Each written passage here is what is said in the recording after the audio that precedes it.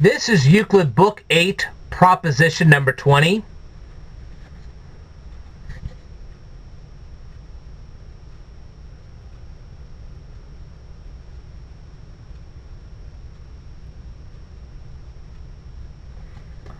Okay.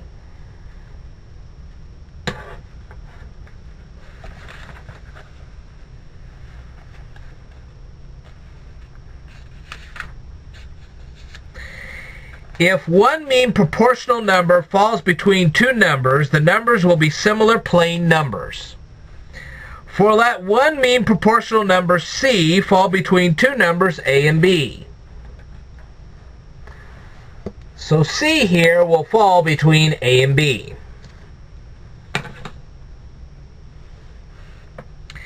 I say that A and B are similar plane numbers. Let D and E, the least numbers of those which have the same ratio with A and C, be taken. And this is by Euclid Book 7, proposition number 33.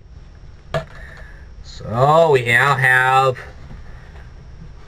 hang on, D and E. We have D and E. Okay.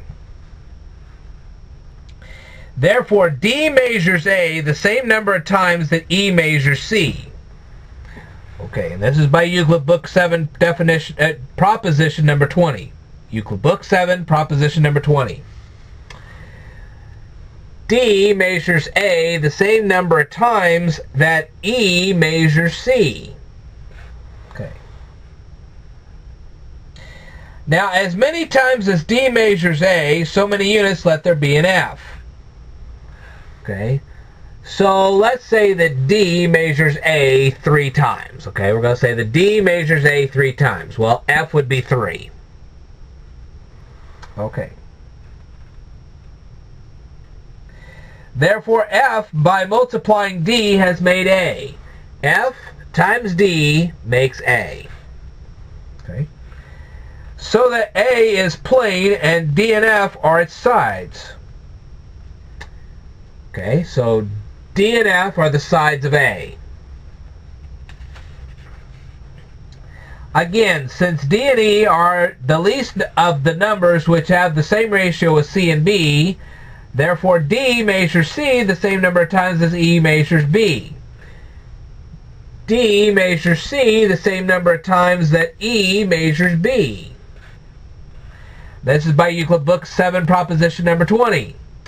As many times then as E measures B, E measures B, okay, so many units let there be in G. Okay. Therefore, G by multiplying E, so G times E, what does it make? It makes B. G times E makes B. Therefore, B is a plane, and E and G are its sides. B is plane, E and G are the sides of the plane. Okay? Therefore, A and B are plane numbers. I say next, they are also similar. For since F by multiplying D has made A, F times D makes A. And by multiplying E has made C. F times E. Let me see. Yes. F times E makes C. Okay. Therefore, as D is to E, as D is to E, so is A is to C. Okay. That is, C is to B. So as D is to E, so as C is to...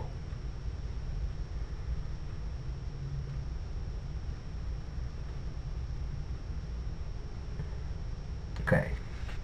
Let me try this again. As D is to B, so as A is to C, so as C is to B. This is by Euclid Book 7, defini- eh, sorry, Euclid Book 7, proposition number 17. Again, since E by multiplying F, E times F, Oh, okay. Since E by multiplying F has made C, and E by multiplying G has made B, Therefore, as F is to G, as F is to G, so is also C is to B. This is by Euclid Book 7 def why, why do I keep saying definition? Euclid Book 7, proposition number 17. But as C is to B, so is D is to E. So as, as C is to B, so is D is to E. Therefore also as D is to E, so is F is to G. As D is to E, so as F is to G. And alternately, as D is to F, so as E is to G. So as D is to F, so as E is to G. And this is by Euclid Book 7, proposition number 13. Therefore, A and B are similar plane numbers for their sides are proportional. Wow. Alright, I will tell you more in my next video. Stay tuned.